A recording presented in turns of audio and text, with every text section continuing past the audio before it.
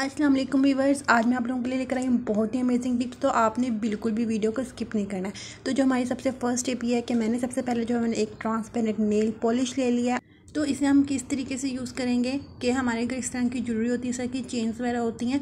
तो उसके ऊपर जो है ना, उसका जो पेंट होता है वो उतर जाता है तो अगर उसका पेंट ना उतरे तो उसके लिए हम क्या करेंगे कि इसके ऊपर ट्रांसपेरेंट जो नेल पॉलिश है, उसकी कोटिंग कर देंगे दोनों साइड से अच्छे तरीके से तो इस तरीके से जो है ना, काफ़ी हद तक आपकी ज्वेलरी जो है वो महफूज रहेगी और उसका पेंट बिल्कुल भी नहीं उतरेगा। और चेन्स वगैरह के अलावा जो है ना, वो बैंगल्स और कंगन्स होते हैं, उनके ऊपर जो है ना, ऊपर वाली जो उसकी कोटिंग होती है, वो उतर जाती है वो डार्क से कलर की में हो जाती है ब्लैक ब्लैक हो जाती है। तो उस चीज़ को जो है ना, महफूज करने के लिए किसके ऊपर से कोटिंग ना उतरे तो उसके ऊपर भी हम लोग जो है ना, ये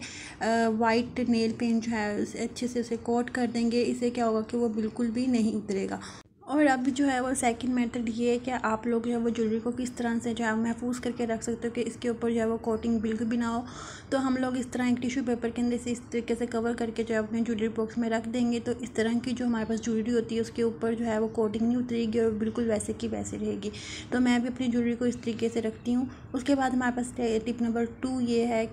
के कानों में पहनने वाली इस तरीके से जो है ना वो बालियाँ या झुमके जो होते हैं, उनके ऊपर से जो पेंट होता है ना वो उतर जाता है। और अगर वो सिल्वर कलर में हो तो वो उसका कलर जो है वो डार्क सा हो जाता है, उसके ऊपर से सारी कोटिंग उतर जाती है। तो इसके लिए भी हम लोग ये मेथड यूज़ कर सकते हैं कि वाइट पेंट से जो है ना इसे ऊपर से अच्छे तरीके से, इस तरीके से कोट कर दें।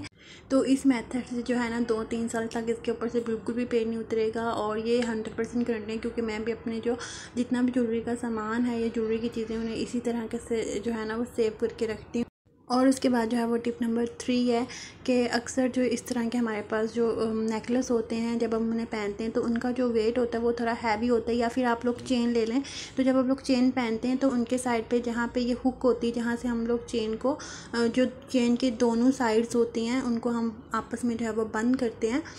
तो यहाँ पे क्या होता है कि ये हमारे जो नेक का एरिया होता है, जहाँ से ये बंद किए जाते हैं तो वहाँ पे जो हुक्स होती हैं ना, वो बहुत ज़्यादा इरिटेशन पैदा करती है और वहाँ से जो स्किन होती है, वो रेड हो जाती है, यानी कि हमें एक टाइप की एलर्जी हो जाती है। तो इसके लिए जो है, मैंने एक टेप ली और टेप का एक छोटा सा पीस काट लिया और उसे इस तरीके से जो हुक वाला एरिया है, उधर से अच्छे से हम लोग जो है ना, वो बाइंड कर देंगे। इस तरीके से क्या होगा कि हम लोग जब भी इस तरीके से नेकलेस को पहनेंगे या कैरी करेंगे तो वहाँ पे हमें बिल्कुल भी इचिंग नहीं होगी, ना ही रेडनेस होगी और ना ही एलर्जी होगी। अगर कोई भी टिप अच्छी लगी हो तो चैनल को लाइक कीजिएगा शेयर कीजिएगा सब्सक्राइब कीजिएगा। अल्लाह हाफिज़।